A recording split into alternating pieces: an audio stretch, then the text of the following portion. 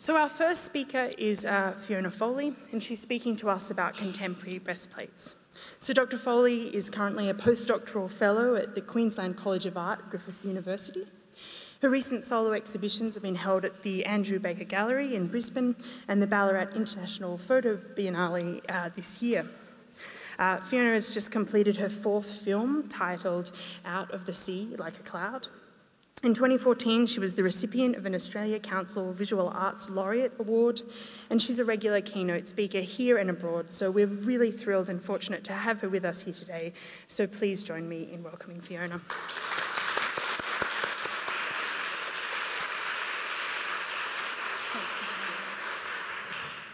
Oh, I pay my respects to the Eora Nation, where we're gathered, and also my Indigenous colleagues in the room who are finishing their PhDs and on that journey, some are on that journey. So um, good to see more coming through the visual arts into academia.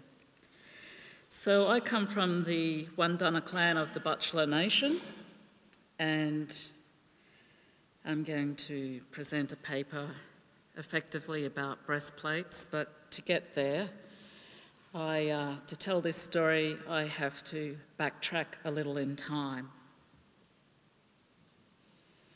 Clouds have played a central role in my recent research, writing, and film.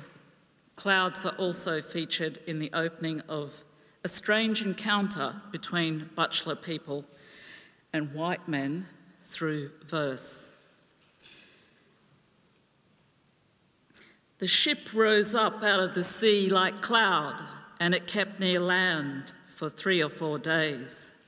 One day it came in very close at Takiwuru, and they saw many men walking around on it. They asked each other, Who are these strangers, and where are they going? These are two versions of the song in existence.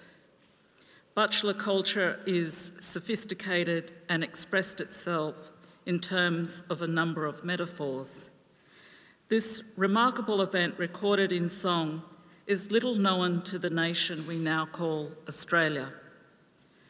The first preserved Indigenous observation of the British incomers handed down over generations as oral testimony. The first line, the ship rose up out of the sea like cloud, recounts the billowing sails of the Endeavour, bobbing around on a vessel out to sea. Our Butchulla gaze was watching them as they were watching us, which left two substantial shreds of cultural interstices meaning the space between things or events. How did Butchulla people feel about this apparition? The song gives us a clue. They were curious and wanted to know more. Who are these strangers and where are they going? The same cannot be said of the British. Inherent in the values of another race pursuing the transit of Venus, the first British visitors, Bruce Pascoe writes, sailed to Australia contemplating what they were about to find. An innate superiority was the prism through which their new world was seen. Thus, before the British even arrived in Australia, there were pre existing principles upon which the people they encountered on arrival would be understood, principles that subjugated them as, inher as inherently inferior. With the Endeavour passing by this volcanic headland on the 20th of May 1770, the sovereign Aboriginal gaze had been observing them for days and indeed weeks. These events are marked by British arrogance to name sites that already had names. The Butchulla name for this place is Takiwuru. Cook went on to also name Sandy Cape and Breaksea Spit. The space between things or the events became an exercise in scientific racism. The volcanic outcrop of rock Ungari is a key into colonial thinking about race and science. Encountering Aboriginal sovereign nations up and down the east coast of Australia, the British saw and remarked upon many Aboriginal clan groups and campfires.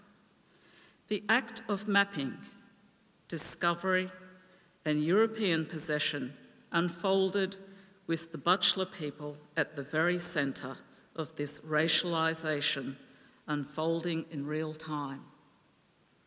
As Jodi A. Byrd identifies in her publication, The Transit of Empire, quote, global systems that secure white dominance through time, property, and notions of self played out at Takiwuru.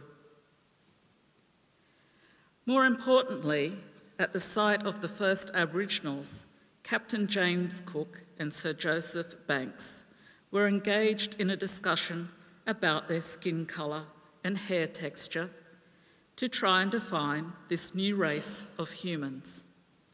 Not wanting to classify them as Negroes, they referred to them as Indian at different stages due to their hair, not being like wool or woolly.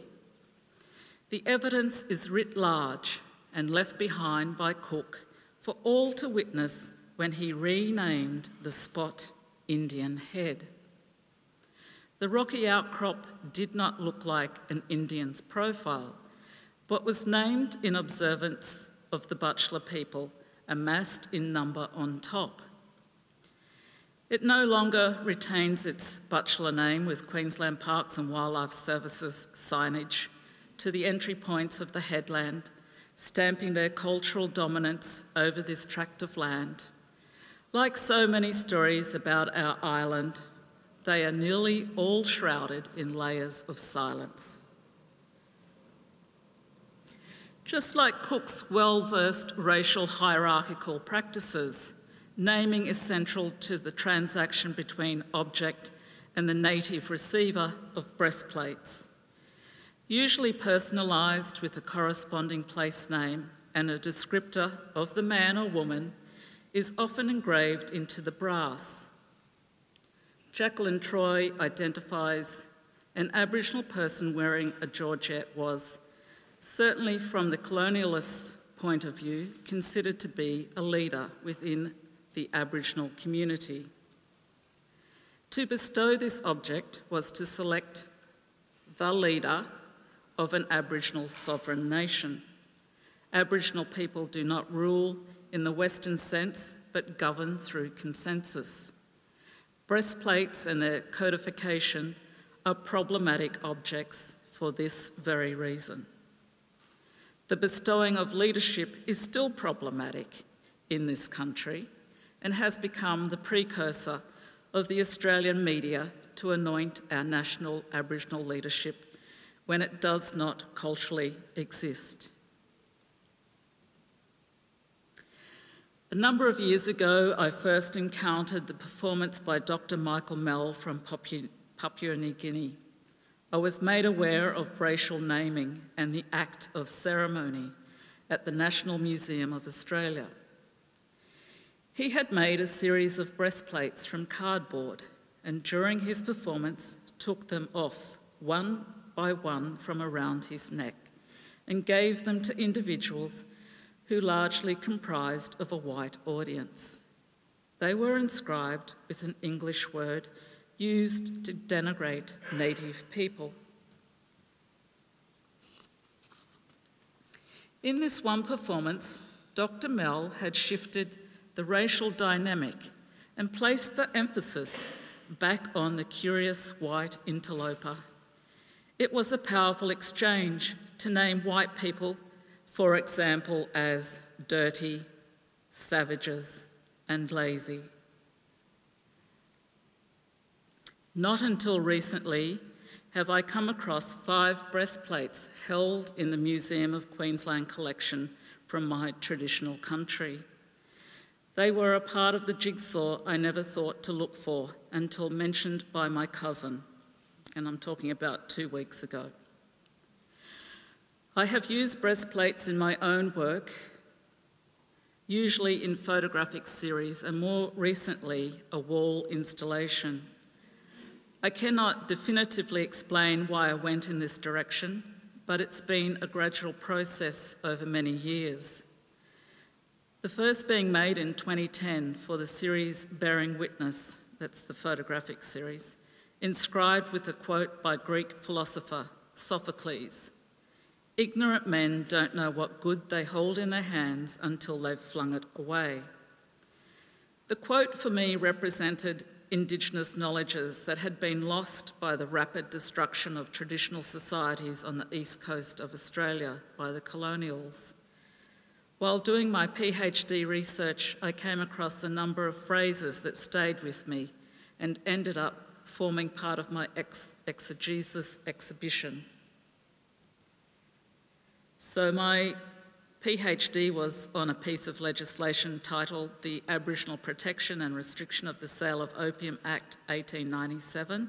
Up until that point in time, opium was legal in the state of Queensland, and after that legislation was introduced, uh, Archibald Meston introduced 33 clauses in that particular legislation that started to isolate Aboriginal people on Fraser Island in a mission, and it was to bring all the opium affected Aboriginals to that part of Queensland to control their addiction.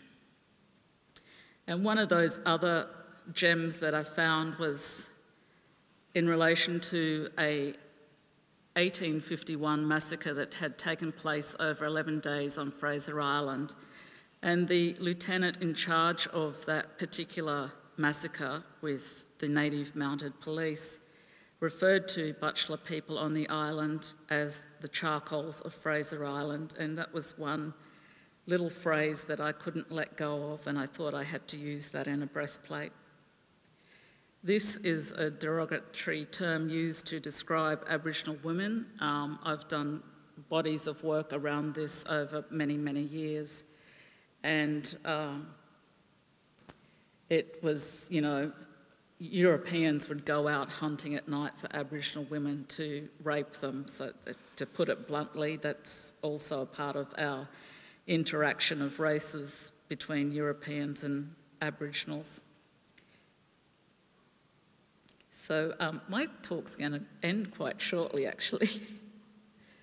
so, we get a bit more of a chance to sort of ask questions. So, the Horror Has a Face branding that you saw in conjunction with this particular um, conference comes from this body of work uh, that I used, that I created in 2017 as a part of my PhD research.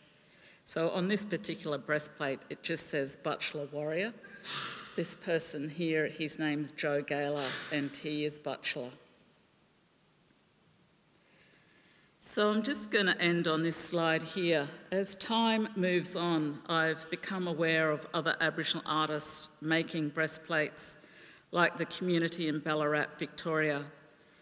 I personally invited members of the Picture Making Followers to exhibit their work alongside mine um, for the Ballarat International Photo Biennale, and here's the catalogue the show's currently on.